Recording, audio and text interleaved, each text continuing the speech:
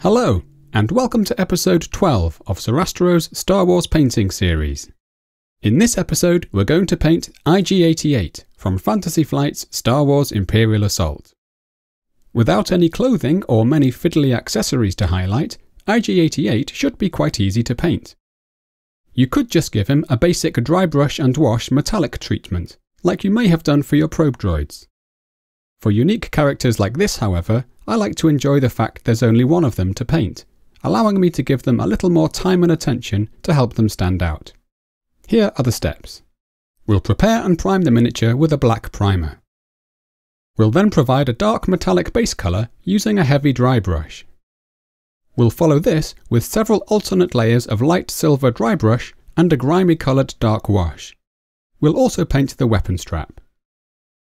We'll then apply some thinned red and blue glazes to introduce some additional colour and character to the droid. Finally, we'll paint the lenses of the droid and provide some additional weathering before rebasing the miniature. Let's begin. After priming any miniature, you may find there are one or two recesses that the primer didn't quite reach. There's nothing wrong with taking a brush to manually paint over these gaps with some black paint.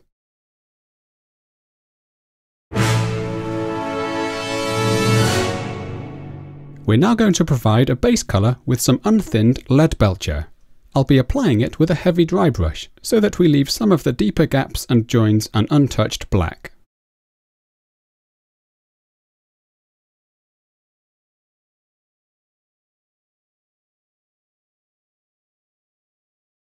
This makes IG-88 one of the quickest figures to provide a base colour with.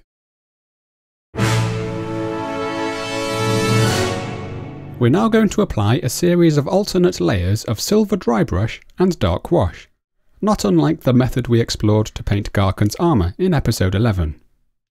We'll begin with a light dry brush using a bright silver, and for this I'm using some Necron compound.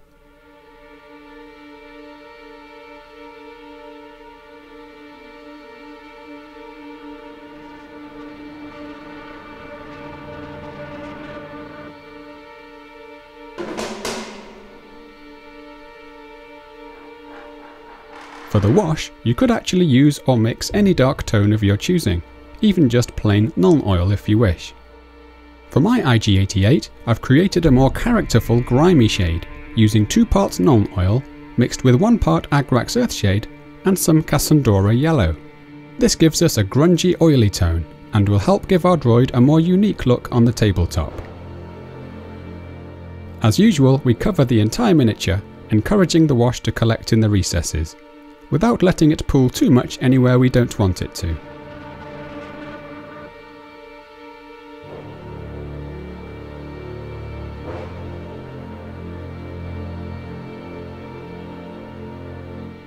Once that's thoroughly dry, we apply another silver dry brush.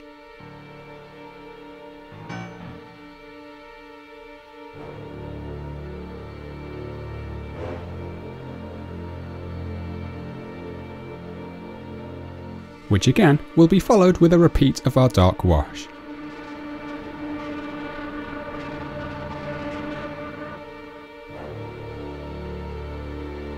We can repeat this process three or four times.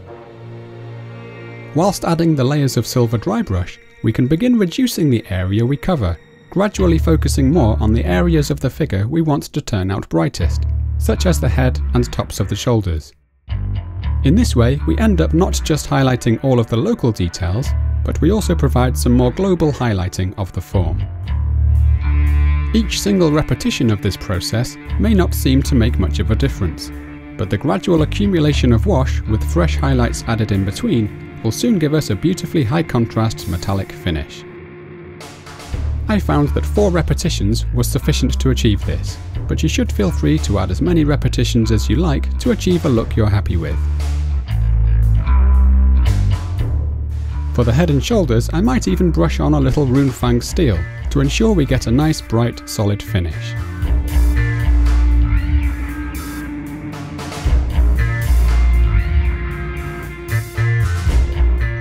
For the last application of wash, we might want to be a little more selective with our shading.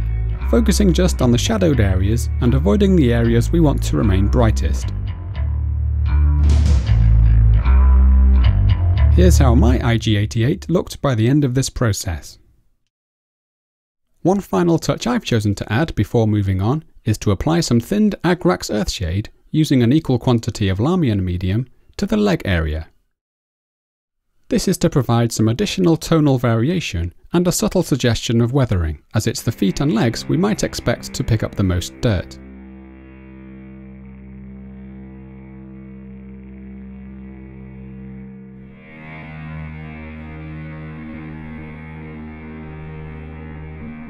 We can add some additional dust effects to this area in the finishing touches stage.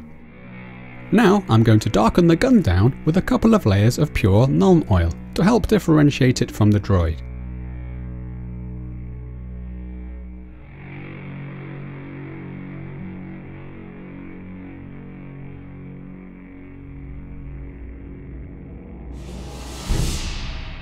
But I would still give it a light silver dry brush to give it a bit of shine.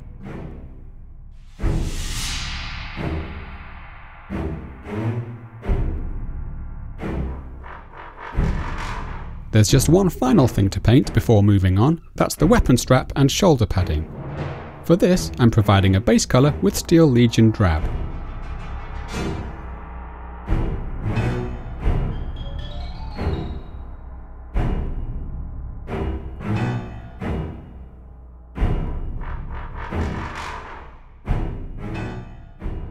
Followed with a layer or two of a 2 to 1 Agrax Earthshade Nuln Oil wash.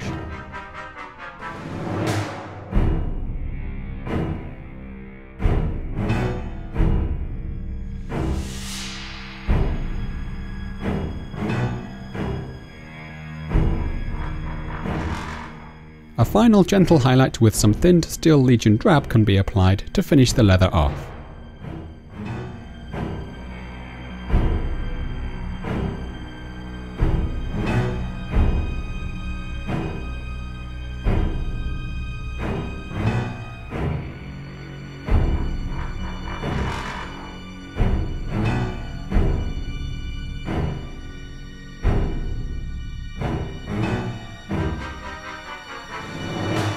Once that's dry, we're ready to do some glazing.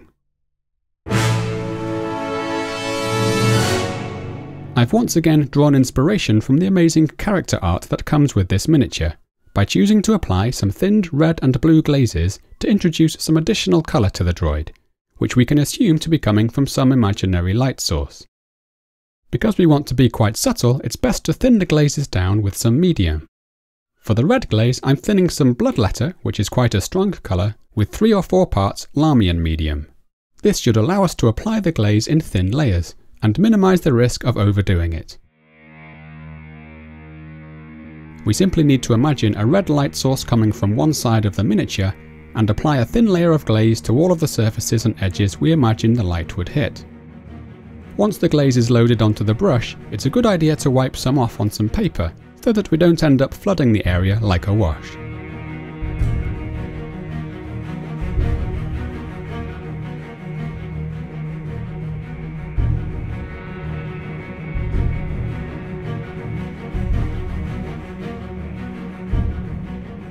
Once we've gently built up a couple of layers, we can do the same with some Guilliman blue. This time we'll hit the opposite side of the droid.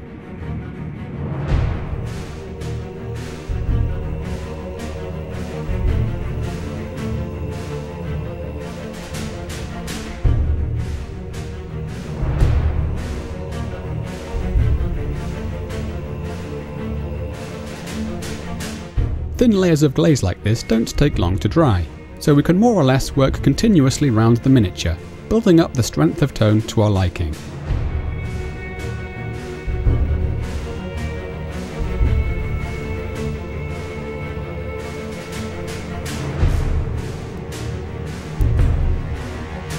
Ideally, we want to be able to view the droid from one side and see nothing but blue light, and from the other side nothing but red. Adding layers of glaze like this might take some of the sparkle off the silver highlights we created earlier. so I'm going to add a few small highlights to some of the edges to bring back a little of that lost contrast.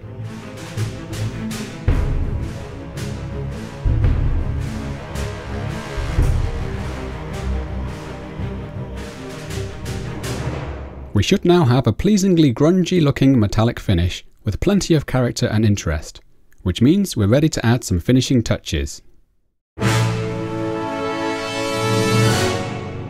We're now going to paint the lenses of the droid. Those that are flush with the head need to be a bright red, so I'm going to use some Evil Sunz Scarlet. A couple of small dabs for each lens should give us a pretty strong tone.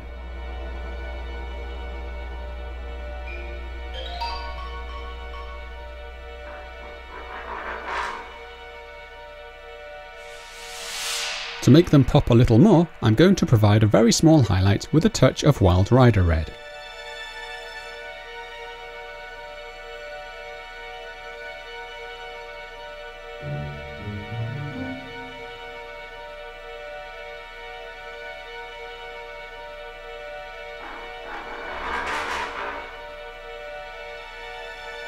Finally, I might add a small amount of Carroburg Crimson, which is a dark red wash, just to the base of the larger central lens. This completes the red lenses, but there are also some dark coloured lenses at the ends of the protrusions, which I'm simply going to paint black and hit with some gloss varnish later on.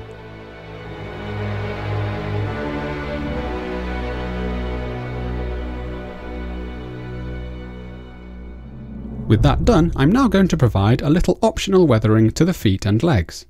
To do that, I'm going to stipple on some thinned Steel Legion drab to give a light dusty matte finish, which should subtly contrast with the upper parts of the droid.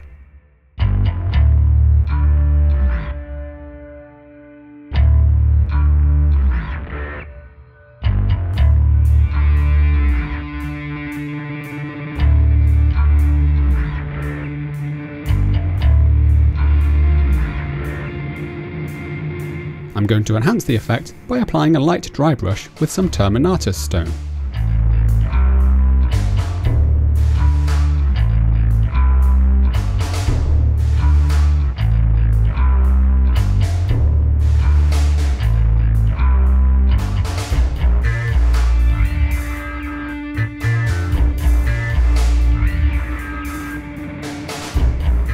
Finally, I might bring back a little depth by applying some Agrax Earthshade just into the recesses.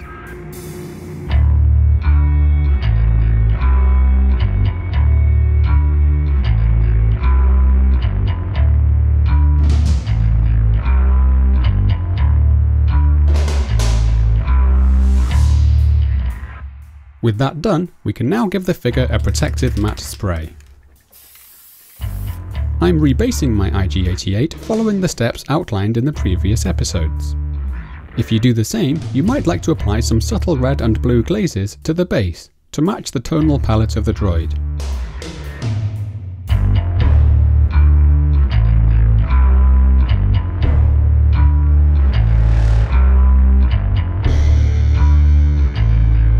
Finally, we can finish the droid off with a touch of gloss varnish for the lenses.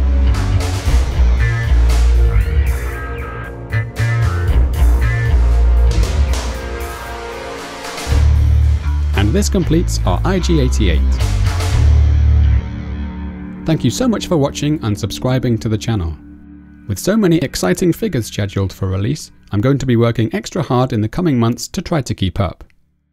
As is evidenced by this video, I won't always be sticking to the release order, which means I can cover new miniatures as they come out, alongside covering the remaining base set miniatures. As always, I offer my special thanks to all of my Patreon supporters for helping to fund the equipment now used to produce the series. Join me again soon as we continue painting miniatures from Star Wars Imperial Assault. Happy painting!